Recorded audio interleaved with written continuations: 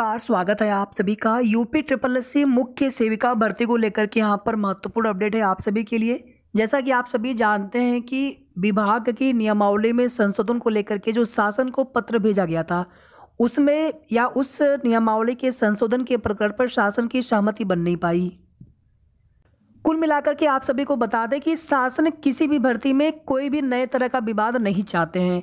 यही हाल वन दरोगा भर्ती में भी हुआ। यही हाल पीईटी की कॉमन कटाप को लेकर के भी होने वाला है और यही चीज़ें आपकी भर्ती में भी है। यानी पुराने वाले नियमावली और नोटिफिकेशन पर ही आपकी भर्ती पूरी होगी। इतना ही नहीं, कम पीईटी के नंबर पर इतने कम पेट कट ऑफ़ पर ये अंतिम भर्ती होगी, शायद अंतिम मौका मिले ये। क्योंकि एक बार कॉमन पेट कट ऑफ़ या पेट की जो कॉमन कट ऑफ़ बन जाने के बाद आने वाले समय में उतने परसेंटाइल आपके रहेंगे, तभी आप मुख्य सेविका की जब दोबारा भर्ती आएगी। आएगी ज़रूर। जब भी आए, एक साल बाद आए, दो साल बाद आए छः महीने बाद आए, आठ महीने बाद आए, शासन के ऊपर पूरी तरह से है पुरानी भर्ती एक बार पूरी तो हो जाए कम से कम। तो आने वाले भर्ती के लिए पेट की कॉमन कट ऑफ़ होने की दशा में चाहे एएनएम की नई भर्ती आए या फिर मुख्य सेविका की नई भर्ती आए, इन भर्तियों के लिए फिर एक फिक्स कट ऑफ़ या फिक्स परसेंटाइल आपके होने ही चाहिए। अभी क्या है कि पंद्रह गुना वाला नियम है और कैटेगरी वाइज शॉर्ट लिस्ट करते करते तीस गुना अभ्यर्थी लगभग शॉर्ट लिस्ट हो जाते हैं। और आपकी भर्ती में स्थिति ये है कि छब्बीस सौ तिरानवे का अगर आप यहाँ पर फिफ्टीन टाइम्स करेंगे और कैटेगरी वाइज कितना हो जाएगा? तीस गुना लगभग।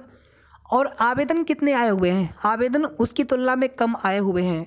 और आप मेरी बात याद रखिएगा अगर आपकी एक नंबर हो तो भी आप तैयारी करिए। जितने भी लोग अभी दस नंबर, पंद्रह नंबर, बीस, पच्चीस नंबर पर हैं धीरे धीरे सभी लोग एक नंबर पे आ जाएँगे।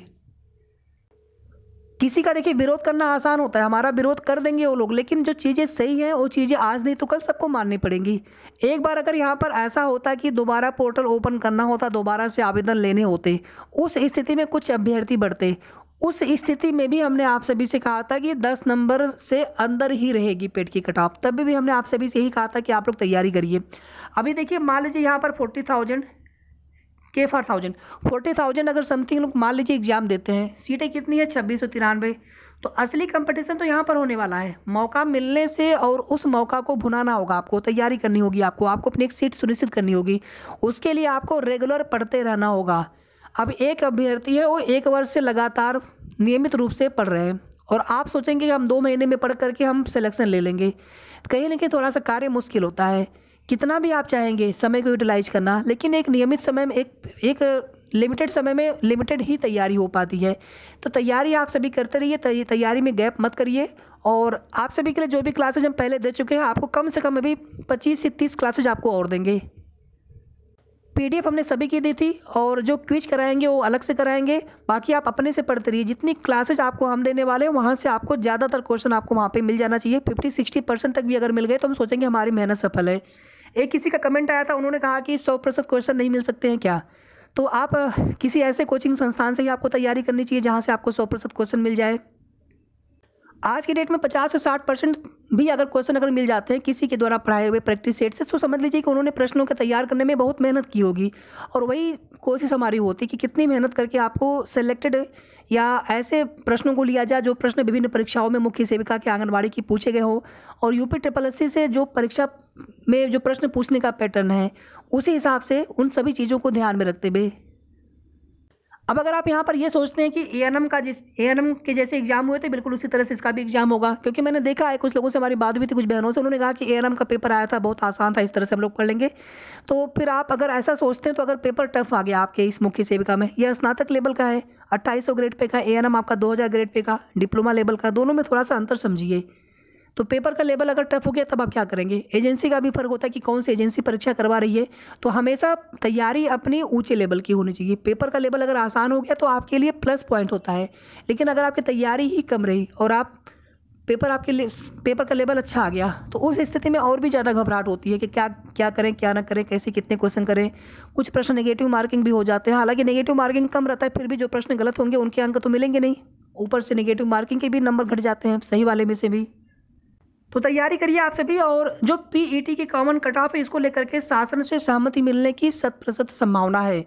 लेकिन ये रूल पीईटी 2022 से आने वाली नई भर्तियों के लिए होगा, ना कि पुरानी भर्तियों के लिए। ये चीज़ आप ध्यान दीजिएगा। आपकी भर्ती के लिए ये नियम लागू नहीं होगा। भले ही शॉर्ट लिस्टिंग अभी न हुई हो क्योंकि पेट 2021 से जितनी भी भर्तियाँ हुई है, सभी के लिए सेम रूल लागू किया जाएगा। अलग अलग रूल होने से कहीं फिर नया विवाद उत्पन्न न हो, शासन की ये पूरी कोशिश है। तो जो भी रूल होगा, वो आने वाली भर्ती के लिए होगा, पेट 2022 के लिए होगा, पेट 2021 के लिए नहीं, या पेट 2021 से जो भर्तियाँ हैं। तो कुल मिलाकर के ये अंतिम मौका आपके लिए हो सकता है कि इस बार आपको एक नंबर पर भी मौका मिल जाए एग्ज़ाम देने के लिए।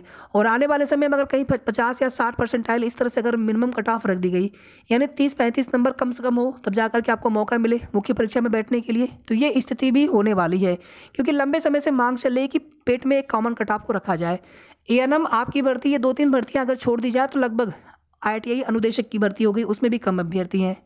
तो बाकी सभी भर्तियों, अगर इन तीनों भर्तियों को छोड़ दे तो बाकी सभी भर्तियों में जितने सीटें होती हैं, उसमें आवेदन करने वाले अभ्यर्थी लाखों में होते हैं। लेकिन मौका नहीं मिल पा रहा है उनको।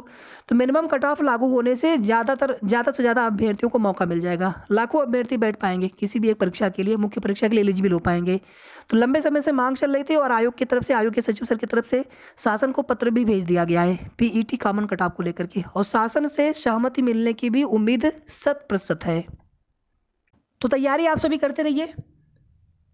क्लासेज आपके लिए जल्दी देंगे और जिस दिन भी क्लासेज स्टार्ट करेंगे, उसके बाद वो क्लासेज आपको नियमित मिलेंगी रेगुलर मिलेंगी, फिर उसमें गैप नहीं करेंगे। नई भर्ती को लेकर के देखिए, कोई भी आपको अभी जानकारी नहीं दी जा दी जा सकती क्योंकि नई भर्ती की को लेकर के अध्याचन की प्रक्रिया जब शुरू होगी, उसके बाद ही नई भर्ती का विज्ञापन आ पाएगा। तो केवल जो पेट में कॉमन कटाव को लेकर के आप ही आने वाले समय में पेट की कटाव ज़्यादा रहेगी, उसको लेकर के केवल बताने का मतलब था नई भर्ती के लिए कि पीईटी की इतने कम नंबर हो तभी भी आपको मौका मिलने वाला है। केवल ये अंतिम भर्ती आपके लिए हो सकती है, अंतिम मौका हो सकता है। एग्ज़ाम डेट को लेकर के चुनाव की वजह से थोड़ा सा विलम्ब होगा। तेरह मई को चुनाव का परिणाम आना है। तब तक आप समझ लीजिए कि आपकी भर्ती में आगे की प्रोसेस शायद ही हो पाए शॉर्ट लिस्टिंग वाली। हालाँकि होने की उम्मीद है कि हो सकता है प्रोसेस स्टार्ट कर दी जाए, क्योंकि कोई भी नया विज्ञापन आयोग की तरफ़ से जारी नहीं किया जाएगा इस दौरान। आचार संहिता की वजह से या कोई भी नया कार्य नई घोषणा नहीं की जाएगी, लेकिन जो पुरानी भर्तियाँ हैं, उनके कुछ प्रोसेस ज़रूर किए जा सकते हैं। अगर प्रोसेस अगर आपका इसी महीने स्टार्ट हो गया, जिसकी उम्मीद तो बहुत कम है, अगले महीने प्रोसेस आपका स्टार्ट यानी शॉर्ट लिस्टिंग की जो प्रक्रिया है शॉर्ट लिस्टिंग की जो नोटिस है, वो नेक्स्ट मंथ में ही होने की उम्मीद है। तो उस स्थिति में आपका एग्ज़ाम जून से पहले होने की उम्मीद बहुत कम है। जून से जुलाई हो जाए, लेकिन जून से मई नहीं होने वाला, जून में भी होने की उम्मीद, तब हम लोग ज़्यादा मान करके चलेंगे, जब शॉर्ट लिस्टिंग की प्रक्रिया मई में स्टार्ट हो जाए। इसके पहले भी हमने आप सभी को बताया था कि बहुत अगर संभावना बनी तो मई लास्ट में शायद आपका एग्ज़ाम करवा दिया जाए। अगर अदरवाइज़ आप जून मान करके ही चलें। और जब भी यूपी डबल से आयोग की भर्ती को लेकर के कोई भी अपडेट दी जाए तो उसमें आप दस पंद्रह दिन आप और आगे थोड़ा सा मान करके ज़रूर चला करें, क्योंकि देरी होती है यूपी डबल से आयोग की भर्तियों में। तो इसीलिए हमने यहाँ पर जुलाई का महीना भी लिख दिया कि मे भी जून से जुलाई भी हो सकता है, लेकिन अभी फ़िलहाल में आप जून मान करके पूरी मेहनत से तैयारी करते रहिए। वीडियो को आप सभी लाइक, शेयर ज़रूर कर दिया करें और अगर आपने अभी तक चैनल को सब्सक्राइब ना किया हो तो ज़रूर सब्सक्राइब कर लेंगे। आगे की जो भी ऑथेंटिक अपडेट होगी और साथ में क्लासेज आपको बहुत जल्द मिलेंगी। धन्यवाद।